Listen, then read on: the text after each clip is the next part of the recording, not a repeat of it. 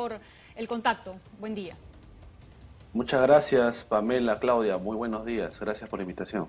Empecemos por lo último. Queremos confirmar la información respecto a los detenidos y liberados en eh, esta retoma de la Universidad San Marcos. ¿Cuántas personas al final han quedado a disposición del Ministerio Público?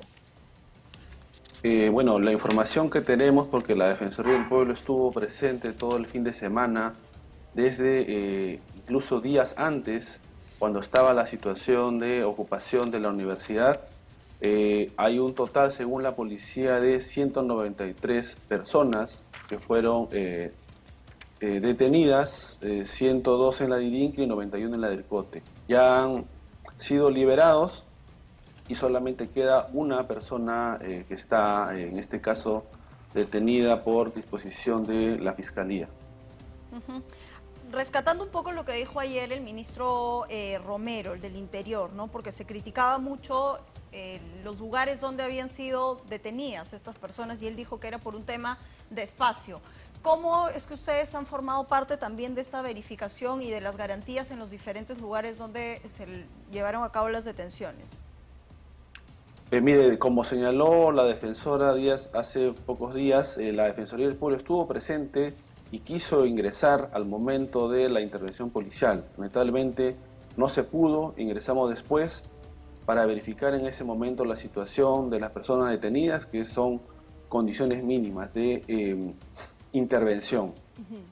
luego nos apersonamos a la sede de la DIRINCRI, a la, a la otra sede de la DIRCOTE, para poder eh, justamente eh, verificar las condiciones y el trato que se les estaba dando a las personas que estaban detenidas, sobre todo aquellas personas vulnerables, personas mayores de edad, que tengan un estado, por ejemplo, de gestación, si hay presencia de niños, y que se les haya informado de todos sus derechos, ¿no? Es decir, que tienen derecho, las personas detenidas, cualquier persona detenida en un Estado democrático tiene derecho a comunicarse con sus familiares, tener un abogado, eh, que se le lea exactamente qué cosa es los documentos que va a firmar, entre otros. Incluso nos entrevistamos con varios de los eh, personas detenidas para hacer estas indagaciones y eh, también hicimos coordinaciones incluso para que en el momento de las detenciones habían protestas fuera para que pueda ingresar, por ejemplo, personal de la Defensa Pública del Ministerio de Justicia que no los dejaban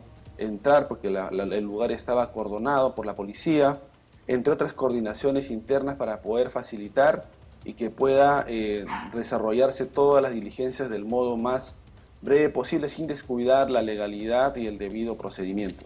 Ahora, señor Alvarado, también lo que hemos visto en los últimos días es que continúan tomándose comisarías de manera violenta. Y ayer, eh, por suerte, gracias a Dios, un policía logró ser liberado luego de haber sido retenido también por manifestantes. ¿Qué información hay respecto a la situación en el interior de nuestro país? Sí, mire, la situación es muy crítica, ¿no? Es muy grave estos hechos de violencia. La Defensoría del Pueblo desde diciembre que han ocurrido en otros lados, como en Andahuay, las en Chincheros, la Defensoría ha condenado estos hechos y ha pedido que se realicen las investigaciones para identificar responsabilidades. Ayer sucedió en La Joya, anteayer en Ilave también atacaron eh, una comisaría.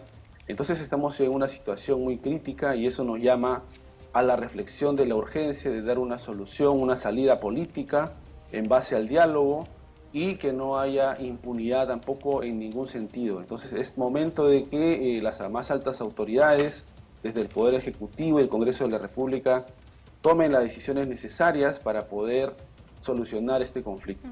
Es urgente que la policía esté presente, que pueda intervenir la fiscalía, pero eso no va a solucionar el conflicto. Necesitamos una respuesta urgente porque la situación se viene agravando días tras días. Hay anuncios de personas, delegaciones que siguen llegando a Lima. El día de mañana va a haber una movilización nuevamente. Entonces, nosotros hacemos un llamado desde la Defensoría del Pueblo a una rápida solución, a la calma, a la paz. Esperemos tener la respuesta. Ya está en los estudios el ministro.